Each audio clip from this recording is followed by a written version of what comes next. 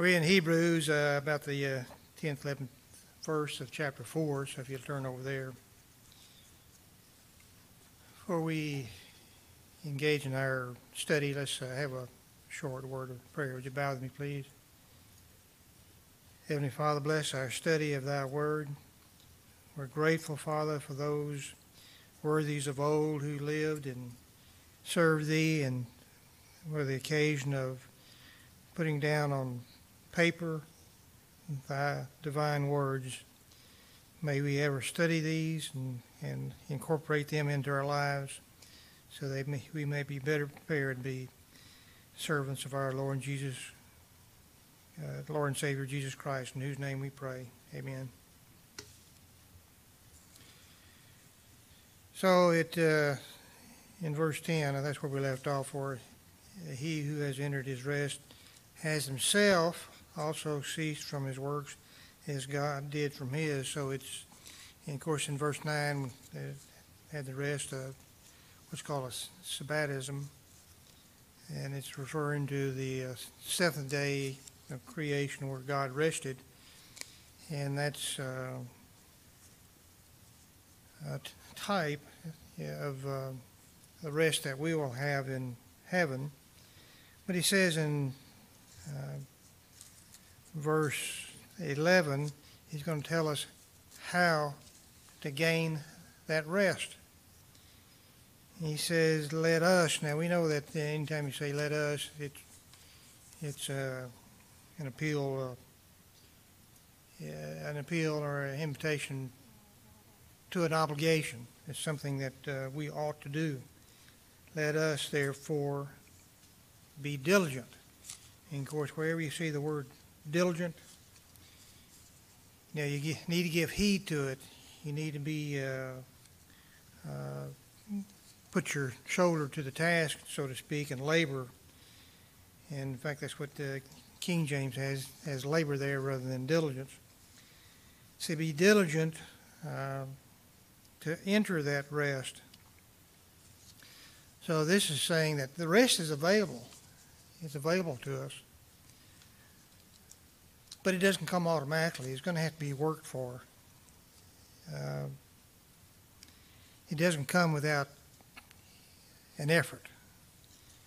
So let us therefore be diligent to enter that rest. That, that's our ultimate, ultimate goal is that rest. Uh, lest anyone fall. now, when it says lest anyone falls, that means that anyone can fall. There is a possibility of falling. And we don't want to fall according to the uh, same example of disobedience that's already been mentioned. And we might look at uh, 1 Corinthians, the 10th chapter, verses 1 through 12, and I think that's probably appropriate to read that here. It says, Moreover, brethren, I do not want you to be unaware that all our fathers were under the cloud, all passed through the sea, all were baptized into Moses in the cloud and in the sea, all ate the same spiritual food, and all drank the same spiritual drink, for they drank of that spiritual rock that followed them, and that rock was Christ. But with most of them, God was not pleased. So, you know, we want to be diligent, not do what they did. For their bodies were scattered in the wilderness. Now these things became our examples to the intent that we should uh, not lust after evil, things as they also lusted, and do not become idolaters as were some of them. As it is written, the people sat down to eat and drink and rose up to play. And that was not a good thing, that kind of play. He said, Nor let us commit sexual immorality as some of them did, and in one day 23,000 fell. Nor let us tempt Christ as some of them also tempted and were destroyed by serpents, nor complain as some of them also complained and were destroyed by the destroyer. Now, all these things happened to them as examples. They're our examples. and they were written for our admonition, upon whom the ends of the ages have come. Therefore, let him who thinks he stands take heed lest he fall. We should be diligent not to fall in these uh, uh, sins that these people were guilty of. in uh, verse uh, 12, it's uh, one that I'm sure you, you all know quite well. And this tells us why we should be uh, earnest and uh, particular in our Christian endeavors. He said, For the Word of God is living and powerful, that is, it is able to judge us as uh, is stated in John 12, 48. It says there, Who rejects me and does not receive my words as that which judges him, the word that I have spoken will judge him in that last day. Now, th- this is not an abstraction, but it's an embodiment of God's will. It is the sword of the Spirit, Ephesians 6.17. so the, the Word of God is living and powerful and sharper than any two-edged sword and piercing even the division of soul and spirit and joints and marrow. Now, all these things paints a picture of the uh, the uh, whole of man, the incorporeal uh, nature of man, all that man is. Uh, the Word, it will be able to pierce all that. Anything that you are, the Word will find you out.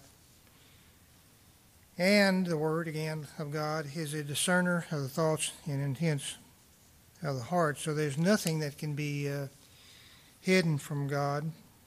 And we'll read about that just a little bit later. There's nothing can be hidden from Him.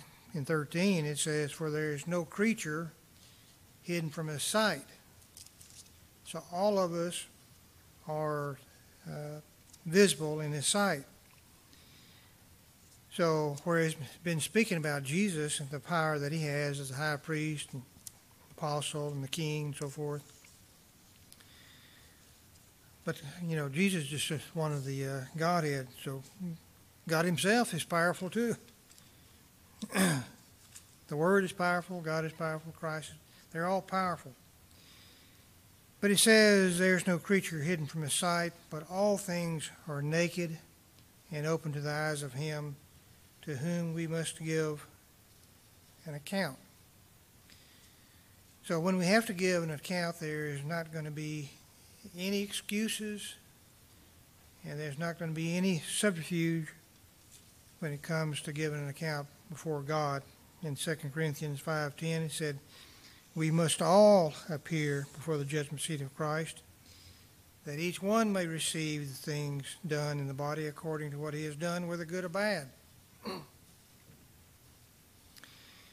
in verse 14, uh, verse uh, 14 really starts another section. and uh, it, you know, probably wouldn't been better to be included in chapter 5, but nevertheless, it starts another section. And that section runs on to uh, somewhere in the 10th chapter. It says in verse 14, Seeing then we have a great high priest who has passed through the through the heavens, and that's passed through. You know, there, there's three heavens that are mentioned, but he's passed through all of them, all of them, and uh, he's passed through to the most holy place, the uh, sanctuary and the uh, true tabernacle. Hebrews 8, verse 2, if you want to look at that. He said, Pass through the heavens, Jesus, the Son of God, let us hold fast our confession. Now, he's talking to the Hebrew Christians, and they were thinking about uh, renouncing Christ or not holding true their confession. So, the, the fact is that to renounce confession, if the uh, Hebrew Christians renounce their confession, they're also renouncing Christ. So in verse uh, 15, for we do not have a high priest, and that of course refers to Christ and not the Aaronic uh, priesthood. We do not have a high priest who cannot sympathize with our weaknesses, but it was in all points tempted as we are, yet without sin. That intrigued me as to, uh, I think I asked David about this, the difference between uh, seduction and temptation. And uh, so I found an article by Johann Heinrich August Ebrard. He's a he's a German theologian, and he talks about this. And I'm not saying that I agree with it entirely, but he, he does talk about this. He, but it also addresses the uh, idea of, of Christ Himself being tempted. He says being tempted is, on the one hand, something different from being seduced. And on the other hand, it is something different from mere physical suffering. He who is seduced stands not in a purely passive relation, but with his own will acquiesces to the will of the seducer. But he who is tempted, as such, is, uh, is purely passive. I'm not sure I uh, can wholly buy into that, but nevertheless, I would say that uh, all uh, seduction is based on temptation, but not all, all temptation redu- results in seduction, but nevertheless, it's one man's opinion.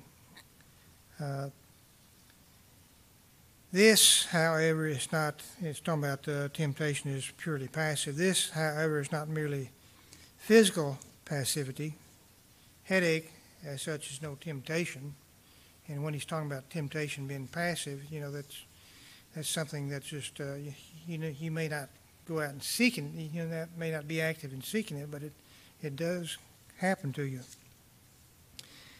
Uh, but there is a moral obligation lying upon every man not to let himself be mastered by his natural affections. And I might say that is, uh, which we all have, which in themselves are all, altogether sinless, but rather to acquire the mastery over them. That a poor man loves his children and cannot bear that they perish of hunger is in itself natural and a sinless affection. But let him be so placed as that without danger of discovery he could steal a piece of money, then that natural affection becomes to him a temptation. He wants to take the money to, buy food. now, it is quite clear that a man may, in this way, find himself in a situation of being tempted without it being necessary, it being necessary to suppose that there is therefore an evil inclination. The poor man may be a truly honest Christian man. The temptation is there. The thought is present to his mind in all the force of a natural affection. And he says to himself, If I were at liberty to take this gold, how I might appease the hunger of my children but at the same time, he has an immediate and lively sense of his duty, and not a breath of desire moves him to take the gold. He knows that he dare not do this. It is a settled thing with him that he is not a thief. So it is in reference to the temptation of Christ. He was tempted in every respect, in joy and sorrow, in fear and hope, in the most varied situations, but without sin. The being tempted was to him purely passive, purely objective. He'd already uh, made up his mind that those temptations, he was never going to yield to them. So whenever they came, he just said, That's not for me. No inclination to evil ever defiled his pure spirit. The lust of the flesh, the lust of the eyes, and the pride of life had no place in his affections. Therefore, although he was tempted by the devil through all the avenues and natural desires of the human heart, he was still without sin. He had made up his mind that he was not going to yield to those natural affections that, uh, that we all have. so, can we do that? Well, we can certainly work on it. but the fact of the matter, all have sinned. But anyway, in uh, verse 16, he says, therefore, in light of all these things, let us therefore come boldly to the uh, throne of God, and that we may uh, obtain mercy and find grace in, in time of need. Now, how can we come boldly to the throne of God? Well, we can do it through prayer.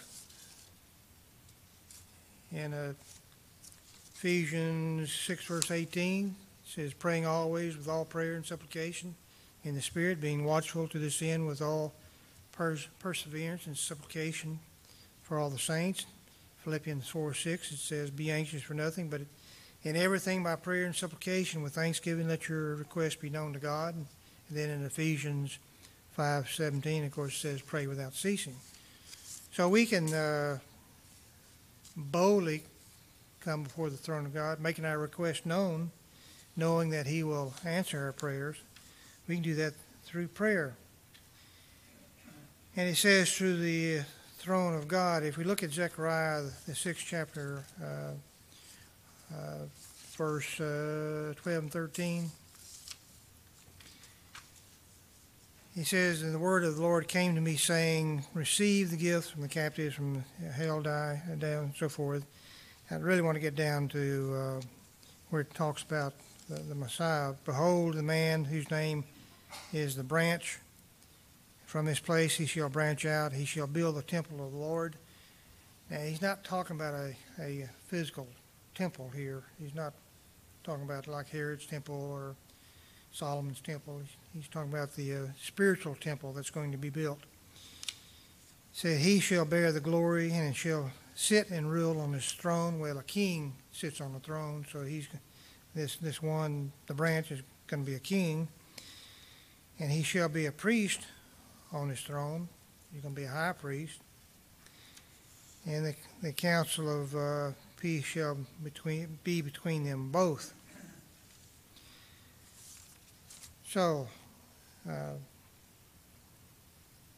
that's where we should come to the throne of grace that we may obtain mercy and find grace in time of need. And we will certainly have times of need.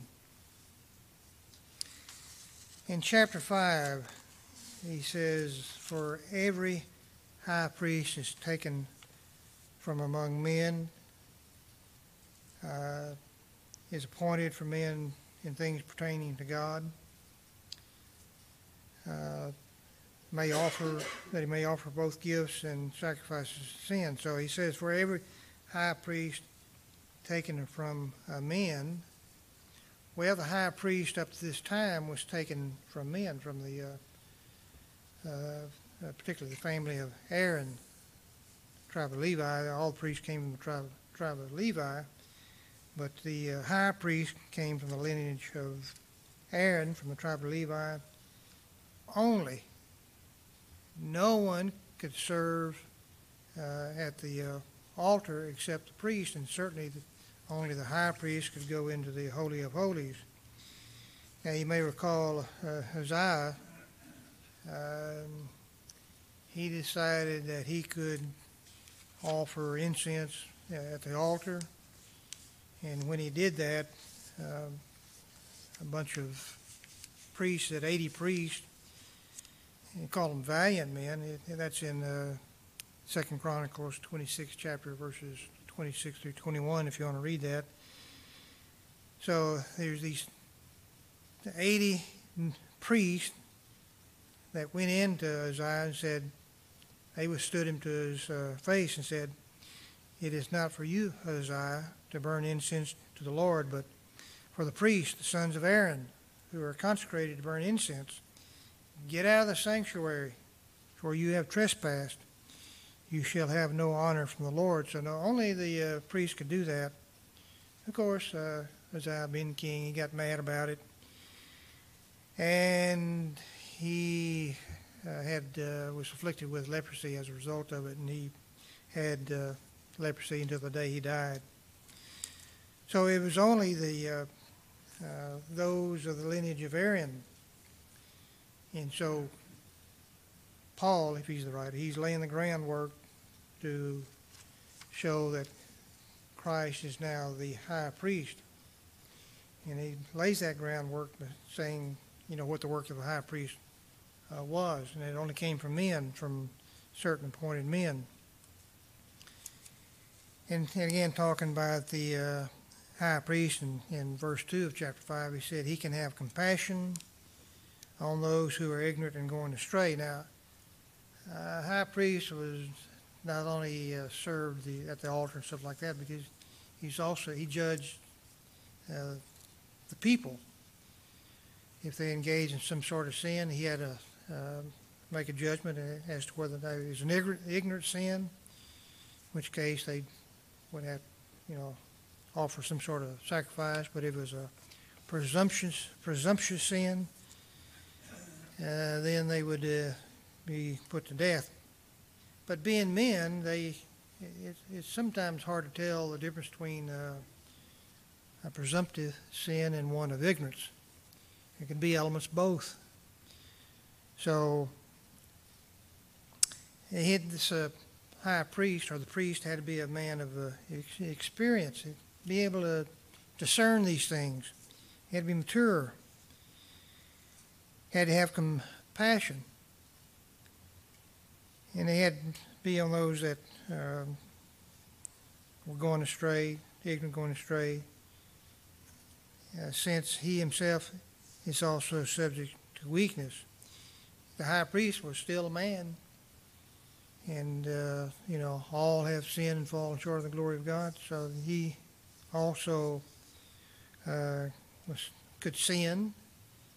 So he, had to keep that in mind in, in making judgment between the uh, types of sin that had been engaged in, and, and make a judgment as to whether or not they're uh, sins of ignorance or sins of, uh, you know, presumptive type sin. And since he's also subject to weakness, since he knows that, he can uh, better exercise forbearance and compassion when it's called for. And he can be uh, resolute when that's called for. In verse 3, it says, Because of this, uh, he is required for the people, in fact that he could also sin, he had to uh, offer sacrifices for sins. You recall that the high priest uh, would, uh, well, when he's consecrated, he was uh, consecrated with blood, but whenever he went into the Holy of Holies once a year to offer sacrifice for the people for sins committed in ignorance, he had to douse himself, sprinkle himself with blood before he can go in for his own sins. So he had to do that first. So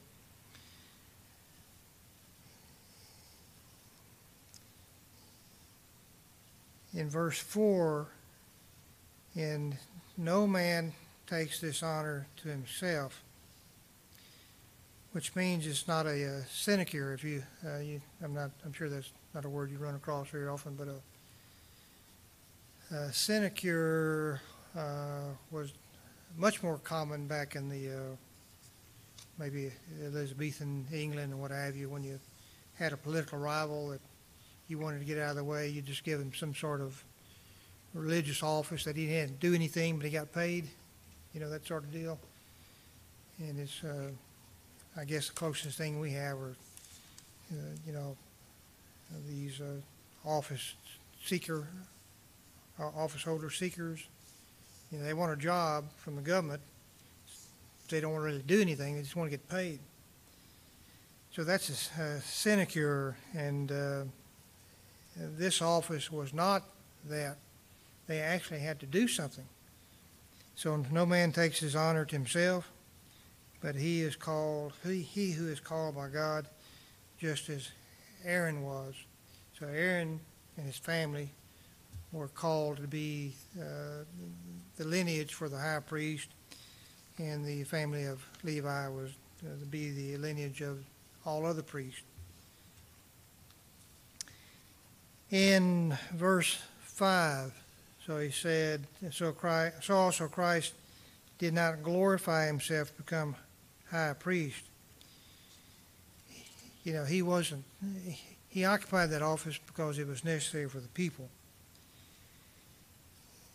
But it was he, that's uh, God the Father, uh, that's one who uh, glorified him, who said to him, You are my son, today I, I have begotten you. And that's the, the uh, time that he was, of course, raised from the dead.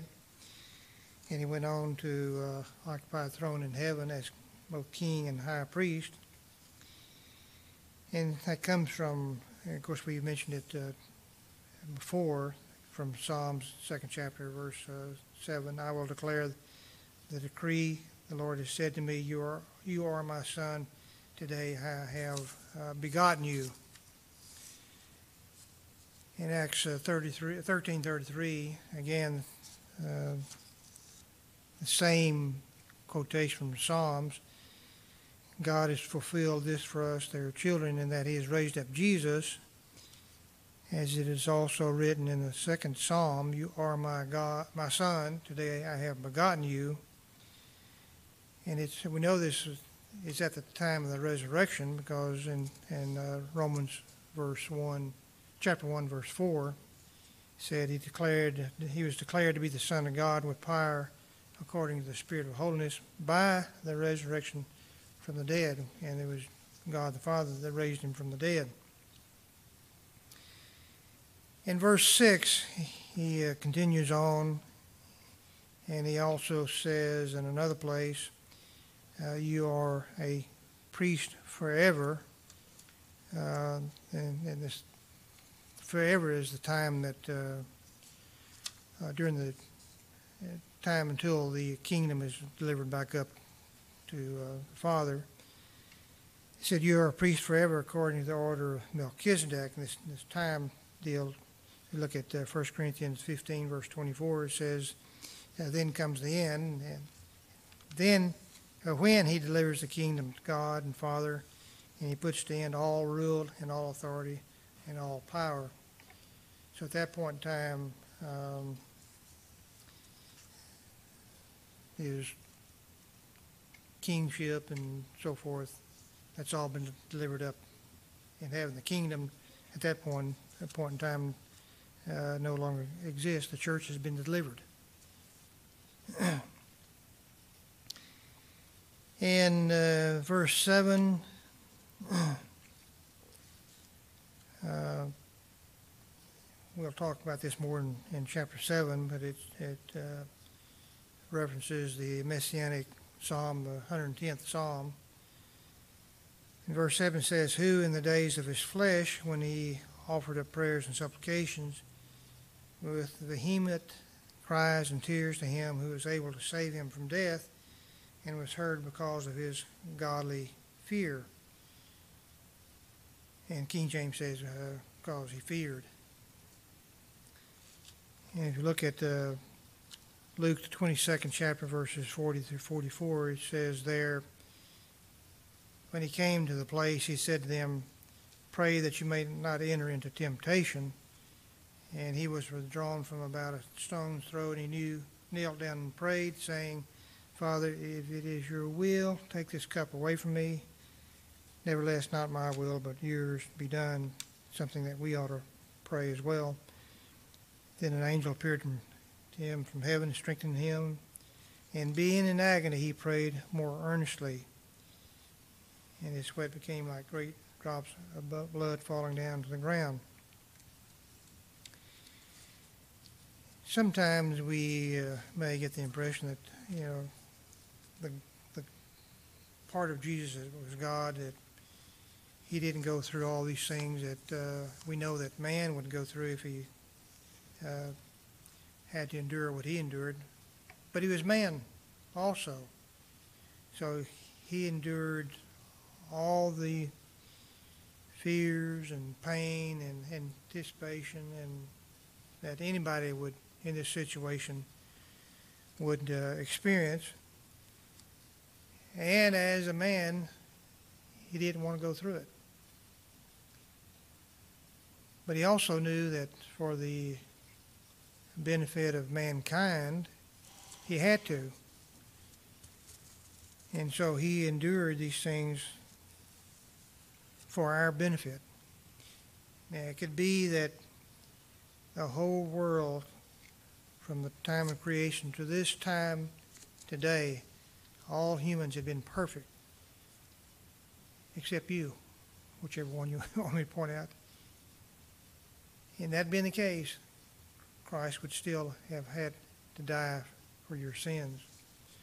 But of course, as I say, all have sinned, fallen short of the glory of God. So, uh, but the fact is that if there's one sin in the world, He had to die to save that person from his sins.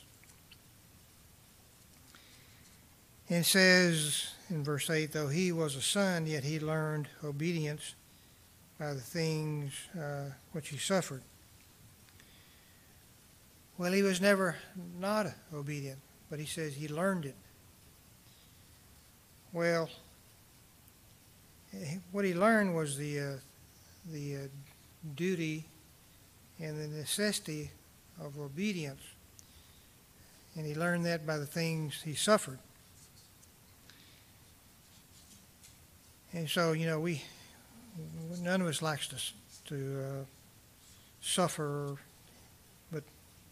it, it, does have a place in uh, perfecting our character. And it says here in verse nine, in having been perfected, that that's not being made perfect because he was perfect, but it's been made suitable for the task that he was sent here to to uh, fulfill and having been perfected by the, by the things he suffered, he became the author of eternal salvation to all who obey him.